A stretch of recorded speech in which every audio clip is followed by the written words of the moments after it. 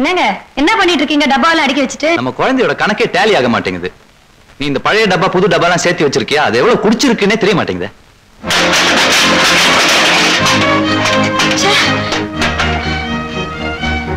என்னங்க நீங்க? எதில் தான் கணக்கு பாக்குறதுன்னு இல்ல உங்களுக்கு? கணக்கே டேலி ஆக மாட்டேங்குது. ட்ரிபிள் ஆன்டிஜன்ங்கிற போலியோ டிராப்ஸ்ங்கிற ஆபீஸ்க்கு ஃபோன் பண்ணி குழந்தைக்கு பேதிங்கிற ஜுரங்கிற நோட்டு பறக்குது வரவுக்கு மேல செலவு. அந்த வீட்டுல இருக்கும்போது 800 ரூபாய் கொடுத்தனா? இப்ப ஆயிரத்தி ஐநூறு ரூபாய் வேணாலும் தர தயாரா இருக்கேன். இந்த பொறுப்புகளை என் கையை விட்டு போனா போறங்கிற நிலைமைக்கு நான் வந்துட்டேன். இப்படியெல்லாம் ஆகும் தெரிஞ்சிருந்தா? வீட்டுக்கு நடுவுல கோடு போடவே விட்டுருக்க மாட்டீங்கல்ல?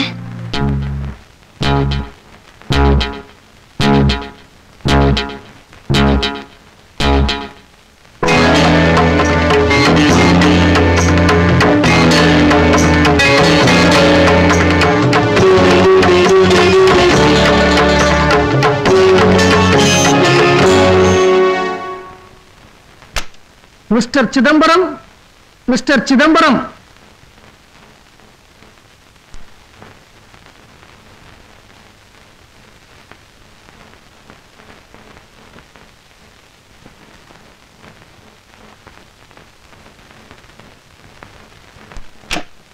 mister Chidambaram என் வாக்க நான் காப்பாத்திட்டேன் உங்க கடன் வட்டியோட இதுல இருக்க ஆமா உங்க வாக்க எப்ப காப்பாத்த போறீங்க அதான் வீடை எப்ப காலி பண்ண போறீங்க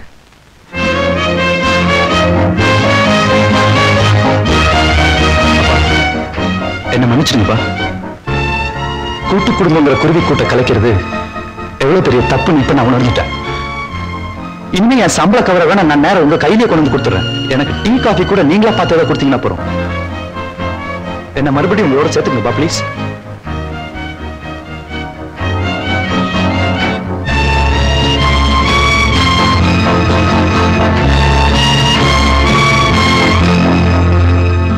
சிவா இன்னைக்கு சாயந்தரம் ஆறு மணிக்குள்ள அவர் வீட்டை காலி பண்றாரு. அவருக்கு சொந்தமான எந்த பொருளையும் இந்த வீட்டுல அவர் விட்டு வைக்க வேண்டாம். அதே சமயம் எனக்கு சொந்தமான எந்த பொருளையும் அவர் எடுத்துட்டு போயிடக்கூடாது. அதுக்கு நீ பொறுப்பு. நான் பக்கத்துல இருக்கிற முருகன் கோயில்ல வெயிட் பண்றேன். அவர் வீட்டை காலி பண்ண உடனே வீட்டை நல்லா வாஷிங் சோடா போட்டு கழுவுற எனக்கு சொல்லி அனுப்புறேன்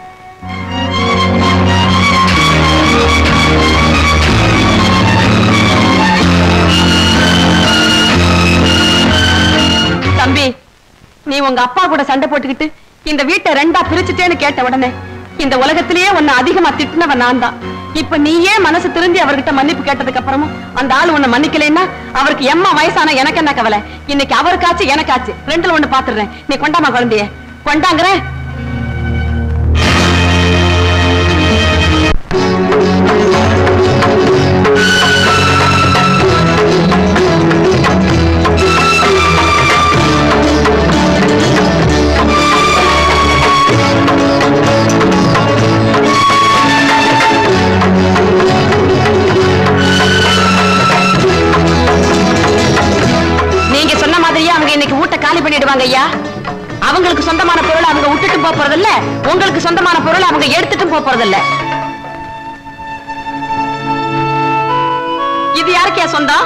அவங்களுக்கு பிறந்ததுனால அவங்களுக்கு சொந்தமா?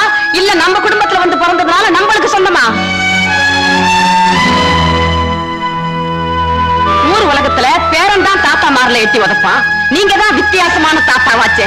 அதான் பேர மார்ல நீங்க எட்டி உதைக்க போறீங்க. இல்லையா? கொல்லி போட வேண்டிய பையனை வேண்டான்னுட்டீங்க. அதனால உங்க கட்டையும் வேக போறதில்ல. நெய் பந்த பிடிக்க போற பேரனையும் வேண்டான்னுட்டா போற வழிக்கு பாதையும் தெரிய போறதில்ல. முருங்க மரத்துக்கு புளிய மரத்துக்கு பேயா அலைய போறீங்க. வாங்குற வயசு இருபத்தஞ்சு.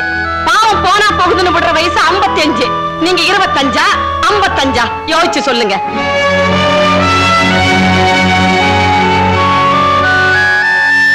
நீங்க கொடுக்கிற முப்பத்தஞ்சு ரூபாய் சம்பளத்துக்காக இந்த கண்ணம்மா உங்க வீட்டுல வேலை செய்யலையா? வேலை வேலைக்கு நீங்க எனக்கு போட்ட சோறு. அதுக்கு மேல ஏதோ ஒண்ணு. இத பாருங்க ஐயா என் நெஞ்சில இருந்த பாரத்தை நான் இறக்கி வச்சுட்டேன். இது தேவையில்லாத பாரம்னு நீங்க நினைச்சா இங்கே விட்டுட்டு வாங்க. இல்ல சுமக்க வேண்டிய பாரம்னு நினைச்சீங்கன்னா நீங்களே சுமந்துக்கிட்டு வீட்டுக்கு வாங்க.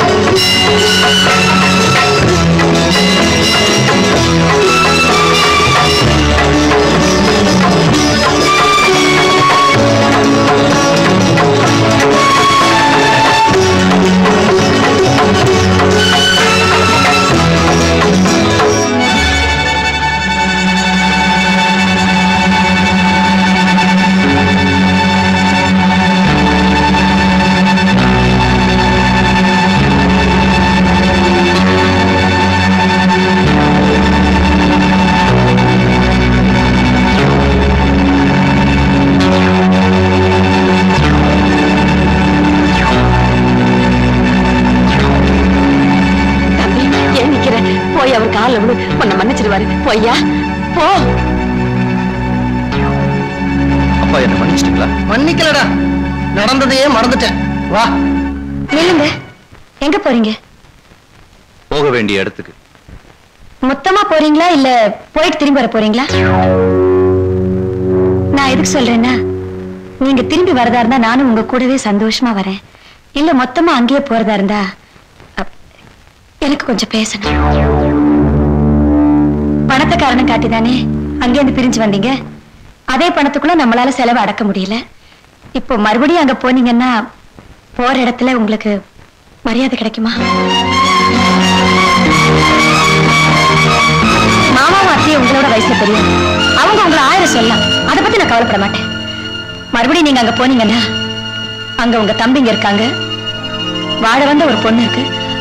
அவங்க ஏதாவது சொல்லிட்டாங்கன்னா உங்களை எனக்கு தாங்க முடியாதுங்க. என்னம்மா? என்னம்மா? என்ன பேசுற நீ? வெண்ண திரண்டு வரும்போது பானை உடைச்சிடாத. இது ஏற்கனவே உடைஞ்ச பானை கண்ணம்மா. இனிமே அதை விட்டு இருக்க முடியாது. உமாமா நல்லா நினைச்சு பாரு. இந்த கோட்டை அழிக்கிறதுக்கு நீ எவ்வளவு பாடுபட்ட? கோட்டை அழிக்கிறதுக்கா நான் பாடுபடவே இல்லை கண்ணம்மா. மனசுல ஏற்பட்டிருந்த விரிசல் சேரணுங்கிறதுக்காக தான் நான் பாடுபட்டேன். மறுபடியும் எல்லாரும் இந்த வீட்டுல ஒன்றா சேர்ந்து வாழணும். ஒரே வீட்டுல இருக்கிறோம் ஒருத்தருக்கு ஒருத்தர் நல்லபடியா மாவும் கொடுத்து பேசணும் தான் நான் ஆசைப்பட்டேன்.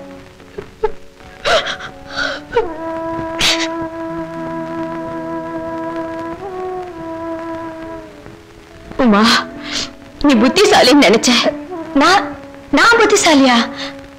அத்தை ஐயோ அத்தை நான் என்ன தப்பு பண்ணேன்? அவர் பண்ண தப்புக்கு எல்லாருமே என்ன பழி வாங்குறீங்க? குழந்தை பெத்துட்டு முத முதல்ல இந்த வீட்டு வாசல் வந்து நின்ன போது அந்த குழந்தைக்கு ஆரத்தி எடுக்கிறது கூட நீங்க வரலையே. உங்களால முடியலன்னு அந்த கண்ணு மாட்ட சொல்லியிருந்தா அவ செஞ்சிருப்பா இல்ல? நான் என்ன ஏழட்டா பெத்துட்டேன் இந்த வீட்டுக்கு மூத்த தலைச்சம் பேர குழந்தை பெத்துட்டு வந்து நின்னு எல்லாருமே சேர்ந்து ஒதுக்கிட்டீங்களே? அப்படி இப்படின்னு நான் ஆயிரம் கேட்டிருக்கணுமே. எனக்கெல்லாம் புத்திசாலித்தனம் போறாது அத்தை.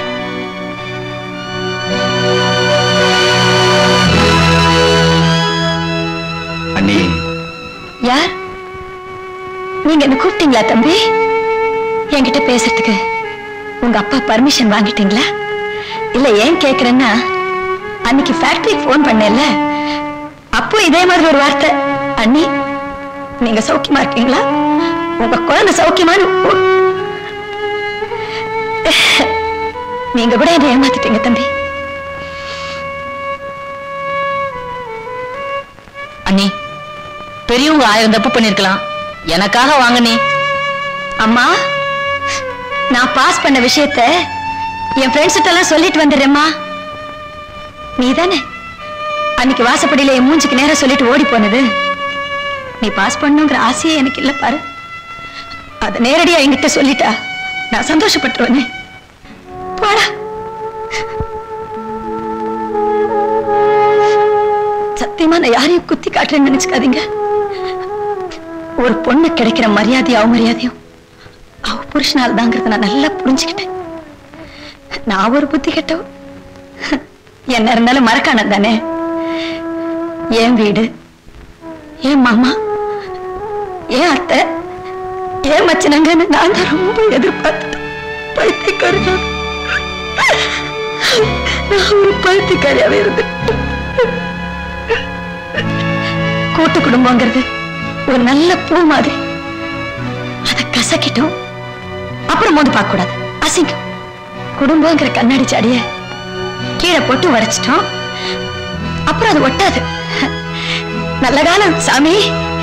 இன்னைக்கு எல்லாரும் ஒன்னா சேர்ந்திருக்கிறோம். சந்தோஷமா இருக்கு. ஆனா இப்படியே ஒரு அடி விலகி நின்னு. நீ சௌக்கியமா? நான் சௌக்கியம். நீ நல்லா இருக்க? நான் நல்லா இருக்கேன். பண்டிகை நாளை கிழமை எல்லாரும் ஒன்னா சேர்ந்துக்கலாம். ஒரு நட்போட. அது நல்லா இருக்கும். அதை விட்டுட்டு திரும்பி மறுபடியும் ஒன்னா கிட்ட வந்துட்டோம்னா ஏதாவது வாய் வார்த்தை தகராறுன்னு வந்து சண்டைன்னு வந்தா தாங்கிக்கிறதுக்கு என் மனசுலயும் சக்தி இல்ல. என் உடம்புலயும் சக்தி இல்ல. என்னால தாங்க முடியாது.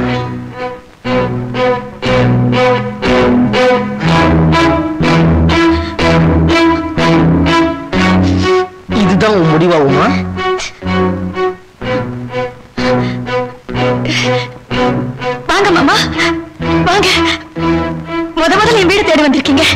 நான் உங்களுக்கு கேசரி பண்ணி தரட்டுமா? சாப்பிடுறீங்களா மாமா மருமகளா நான் என் கடமையை ஒரு குறையும் இல்லாம செஞ்சுட்டேன் நினைக்கிறேன். நீங்க சொன்ன மாதிரி அது நல்லதுதான். தனியா போறது ஒரு விதத்துல நல்லதுதான். ஆனா ஒண்ணு மாமா ஞாயிற்றுக்கிழமையானா நாங்க ரெண்டு பேரும் கரெக்டா ஆஜராயிடுவோம். என்னால ஆறு நாள் உங்களெல்லாம் பார்க்காம இருக்க முடியாது. ரொம்ப கஷ்டம். இங்க வந்து அத்தை கையால சமைச்சு எல்லாரும் ஒன்னா உட்காந்து சாப்பிட்டு சாயந்தரம் தான் நாங்கெல்லாம் போவோம். இல்லைங்க? சம்சாரம் அது மின்சாரம். சம்சாரம் அது மின்சாரம். அன்புக்குள்ள ஆளும் உண்டு நெஞ்சுக்குள்ள இரமுண்டு சம்சாரம். பந்தமுண்டு பாசமுண்டு சொந்தத்துக்கும் உள்ள முண்டு சம்சாரம். சூட்சுமத்தை தெரிஞ்சுக்கிட்டா ஒளி கொடுக்கிற மின்சாரம். சம்சாரம் அது மின்சாரம். சம்சாரம் அது மின்சாரம்.